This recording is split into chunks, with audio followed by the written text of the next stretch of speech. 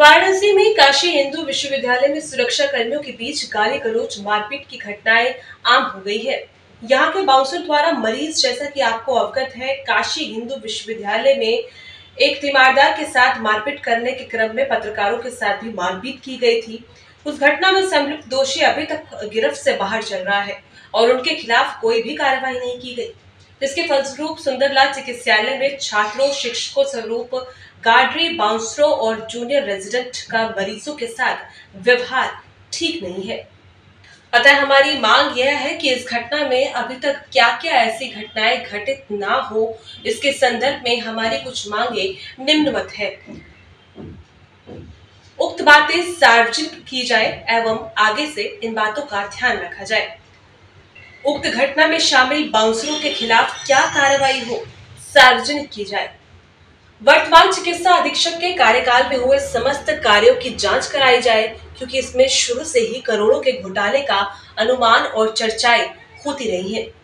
Health card से दिखाने के लिए आए छात्रों का जो निर्धारित समय है, उसको बढ़ाकर पूरा दिन का किया जाए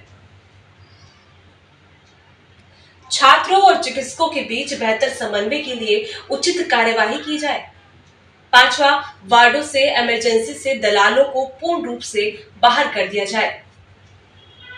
ब्लड टेस्ट और अन्य टेस्ट जो बीएचयू में हो सकते हैं, फिर भी उसे बाहर भेजने वाले रेजिडेंटों के खिलाफ सख्त सख्त कार्रवाई हो। छात्र स्वास्थ्य केंद्र में विशेषज्ञ डॉक्टरों की संख्या बढ़ाई जाए, महिला फिजिशियन की व्यवस्था की जाए, जिससे कि छात्राओं को कुछ सुविधा हो। पार्किंग की समुचित व्यवस्था की जाए अस्पताल के अंदर एंबुलेंस छोड़कर किसी भी वाहन को खड़े होने की इजाज़त न हो। जी मेरा नाम इष्टदेव पांडे है। मैं छात्र नेता काशी हिंदू विश्वविद्यालय। अब किस तरह का पत्र को देने गए देखिए आज हमारी मुख्य मांगे थी कुछ जिसको लेकर के हम लोग नए जो हमारे चिकित्सा निदेशक आए हम लोग उनसे मिले।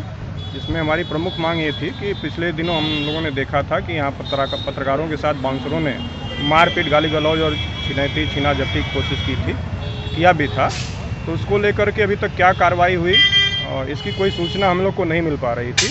तो हमने इनसे जानने की कोशिश की कि उन बाउंसरों के खिलाफ़ और उन गार्डों के खिलाफ़ जिन्होंने पत्रकारों के साथ मारपीट की, उस मामले में अभी तक क्या कार्रवाई हुई है, उसको उससे हमको अवगत कराया जाए।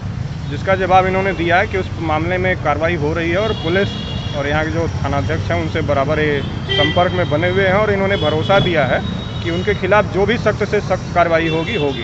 इसके साथ हम लोग की कुछ और मांगे मांगे भी थी जो छात्रों से जुड़ी हुई थी, जिसमें हमने इनसे मांग रखी है कि छात्रों का जो हेल्थ कार्ड का इशू है कि एक घंटा इन्होंने केवल एक समय निर्धारित किया है कि एक घंटा ही दिखाया जाएगा। तो उसमें हमने कहा कि छात्रों को पूरे दिन दिखाने का मौका मिलना चाहिए विश्वविद्यालय में। यहाँ के चिकित्सालय में। तो इसमें भी इन्होंने हामी भरी की है जल्द से जल्द उस मुद्दे को भी देखेंगे और छात्रों को छूट होगी कभी भी जब तक हॉस्पिटल खुला है ला के दिखा सकते हैं। जो तीसरी मांग हमारी ये थी कि यहाँ के हेल्थ सेंटर में, जो छात्रों का हेल्थ सेंटर है, वहाँ पे एक भी जो डॉक्टर हैं, वो सारे के सारे सर्जन एक भी फिजिशियन नियुक्त नहीं है और उन्हीं के ऊपर सारे छात्रों का स्वास्थ्य और सब निर्भर करता है। तो हमने इनसे मांग की है कि जल्द से जल्द वहाँ पे कम से कम तीन या चार सर जो फिजिशियन की नियुक्ति हो और एक महिला डॉक्टर की नियुक्ति हो, जिससे कि हमारी जो छात्राएँ हैं, उनको हम देखते हैं कि कई बार छात्राएँ संकोच बस अपनी बातें बता नहीं पाती हैं। तो अगर एक महिला चिकित्सक होगी तो छात्राएँ भी खुल के अपनी बात रख पाएँगी और उनका ट्रीटमेंट अच्छे से हो पाएगा।